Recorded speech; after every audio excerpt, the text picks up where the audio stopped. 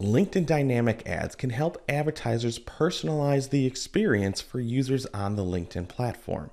In this video, we will cover the three dynamic ad formats that are available. And each of these ad formats are not available on every single campaign objective. So we're going to clarify that. We're going to show you the benefits of each of these dynamic ads and what they may look like when you're on the LinkedIn platform.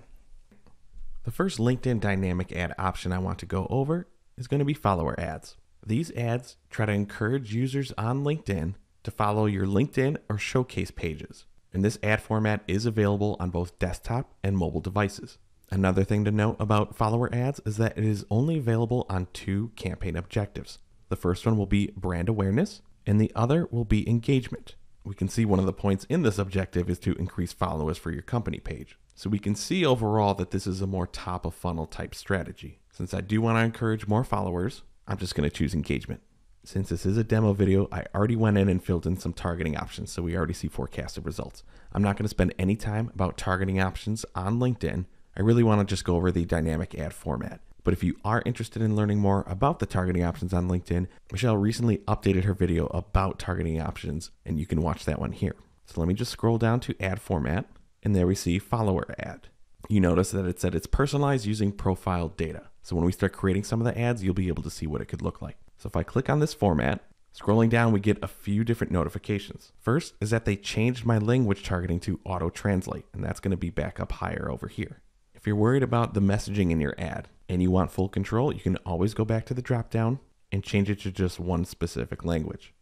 The other notification as I'm scrolling down was that the LinkedIn Audience Network has been disabled, and that's fine. We're trying to get more followers to our LinkedIn page. Can't really do that on partner apps and websites. Keep scrolling down. I'm going to ignore the daily budget and your bids. Additional conversion tracking is optional. I'll leave that completely up to you, but let's just move on to the ad format.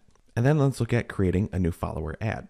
So this LinkedIn campaign manager is pretty old. I made it when I made my first website. It has to be close to eight years ago now. But the company name is pulling from my LinkedIn company page and the ad image is pulling from my company profile image. And we can see both of those are in the ad preview. But back over to the left, we can see the components that make up this dynamic ad. First is a personalized headline.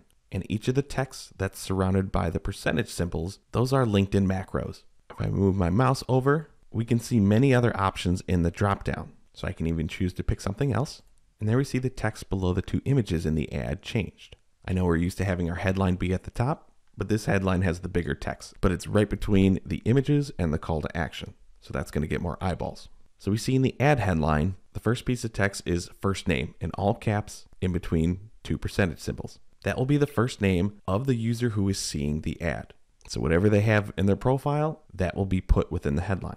And at the tail end of the headline, we see the same thing but company name. That's going to pull what I have as the company name. So in the next field below, as I said earlier, it's pulling the name of the page that I have set up. But as we can see, there's a character limit. I'm three characters over. If I wanted to, I can change the company name. I'll just paste something else in here. I updated the company name, so I didn't have to change the headline because that is going to pull whatever I have entered in this company name field. Down below with add image, it's pulling the company logo from my page. But if I don't like that, I can X out of it and upload something else. Next, you can decide if you want to include the ad viewer's profile image.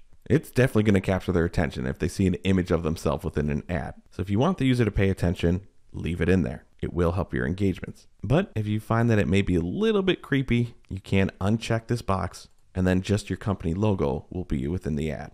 I think it looks better. And then just like the headline, we can choose from a list of pre-selected descriptions. Some of these have macros in them, some don't. And one thing I realized I didn't mention in the headline that you can also do in the description is create your own option. You don't have to use any of the pre-selected options. So here you can type in a message. I'm going to paste in something here. Full name is another macro that you can use for dynamic ads. But if you feel you have a more compelling message in either your headline or description than the default options that LinkedIn offers, understand you can update it to be whatever you want, within the given character limits, of course we scroll down a little bit, we see a call to action drop down. Now, right away, when you saw the ad preview, you may have noticed that the call to action button said visit careers. And in the beginning, when I was talking about campaign objectives, I said the goal was to increase followers for your LinkedIn or showcase pages. Well, in my targeting options, I just selected a bunch of member groups. And if you're sticking to really relevant member groups, there could be a good chance that people who already follow your company page are already members of those groups. So your ads still could show to those users unless you have some exclusion audiences in place. So we see here, this preview was showing to people who are currently followers of the page. If I click the drop down, select non follower view, we see the call to action is changed to follow. Everyone who isn't a follower of your page will get this call to action. You cannot change that. So the call to action we would select here would be to choose one of the options to have them engage with your brand. Go back up, change it back to current follower view, and now I'm having it visit the company. And the URL for this call to action will be the URL that I put within my main company page. And that one is done, so we can click create. Now let's talk about the second type of LinkedIn dynamic ad. And the second type of dynamic ads on LinkedIn are spotlight ads. These ads send users straight to your website, and they are only available on desktop devices. And this ad format is only available for the objectives of brand awareness, website visits, and job applicants. So for this one, I'm going to choose web visits. I'm going to skip the targeting again, and there we see spotlight ad. Just like the follower ads, we get the same notifications about auto translate and the audience network, so we can skip those. Skipping the budget and the bids again. Make sure your conversion tracking is set, that's fine. Now we can click next. Let's go and create our first spotlight ad. You can see some similarities between this format and the follower format. There's the profile image of the viewer who may see the ad. We have the company image, but in this case, we can add a background image. If you do add a background image, you can see that both the user's profile image and the ad description went away. You can see how bad it looks because the image I uploaded was not the 300 by 250 that they say it needs to be. But you kind of see what part of the image would be visible. So that may help you tweak the design. But if you don't want an ad background image, you can uncheck it. And there we see the image and the description is back. Depending on the color, like the ones that we had, it could make your ad pop a little bit. See how bright that ad was compared to the all white background of LinkedIn? It's just another thing that you can test between two different Spotlight ads. The macros that we talked about in the follower ads are available in Spotlight ads, but we get less options. We can only use the first name macro and the full name macro in a Spotlight ad. So there we see the first name macro is working. And unlike the follower ads campaign, we didn't have a drop down of pre selected headlines you can choose from. Same things with the description. In this case, we can choose not to even add a description if we just really want to focus on the main message. Another difference between this format is that we get to customize our call to action to be whatever we want. This is because we're not encouraging followers. We're sending people to our website or landing page. Next, we'll need our destination URL. I just tagged in our main URL. Please add in your parameters so you can track what's going on within this campaign. So you can see that follower ads and spotlight ads are very similar. It's almost like the campaign objective dictates it. Do you want more people to follow your company page? Or do you want to send more people to your website? But if everything looks good here, you can click create, and then we can jump to the third type of dynamic ad you can create within LinkedIn. And the third type of dynamic ad you can create within LinkedIn is going to be job ads. Perfect if you're trying to get awareness in front of candidates who may be suitable for any job openings. No surprise here that the only campaign objective we can choose would be job applicants. So as I scroll down to the targeting option, I want to stop here because there's an automatic audience exclusion added to this campaign objective. People who already say they work for your company on LinkedIn are automatically excluded from being targeted. That's a great proactive feature from LinkedIn. But now we can scroll down to ad format, and here we see job ads. Same warning about auto translate, and a little bit of a change with the audience network. It's automatically excluded not from the ad format we selected, but it's excluded from this campaign objective totally. Budget, bids, optional conversion tracking again, because we're looking to get recruits, not on site conversion actions. So let's click next and create our new ad. For the headline, we see the drop down option again with the ability to create a custom headline. Let's try a corny one here. And here I just pasted in one option. Sorry, Michelle and I aren't hiring, so don't get your hopes up. Again, we see the option to use the profile image and then the call to action drop down. We see just a few default options, but we do have the option for a custom call to action button we see underneath the call to action that it will lead to your company's job page on LinkedIn. So to show you where to do this, I'm going to quickly hop into our company page.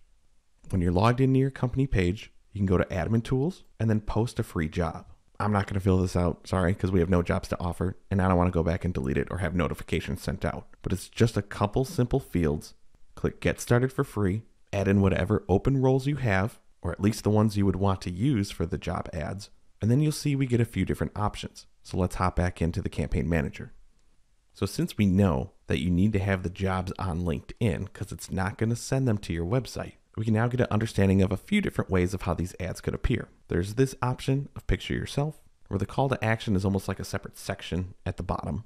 If I choose jobs page, there's another option. This one actually looks like a call to action button. And then jobs of interest, where this is the only one that is actually using our custom call to action. Again, all of them will go to the jobs page on LinkedIn. And if you're good with that, we can click create. You might be asking how come I didn't include sponsored InMail. Sponsored InMail is another ad format where you can use macros and kind of customize the message a little bit. LinkedIn doesn't consider that one of their dynamic ad formats, so I didn't talk about it. If you are interested in learning about sponsored InMail, or as they're called now, message ads, you can watch Michelle's video here. But these are the main three dynamic ad formats we currently get. I understand it's nothing crazy like what some e commerce accounts can do with dynamic shopping or anything like that but we still do get some options where we can have a much more personalized feel, whether it's using the ad viewer's profile image or using their name in clever ways within our ad headlines or descriptions. If you have any more questions on what we may or may not be able to do with LinkedIn's dynamic ads, let us know in the comments below. Thanks for watching our video. If you found it useful, give us a thumbs up below. We release a new video at least once a week, so if you want to see more from the Paid Media Pros channel, be sure to subscribe.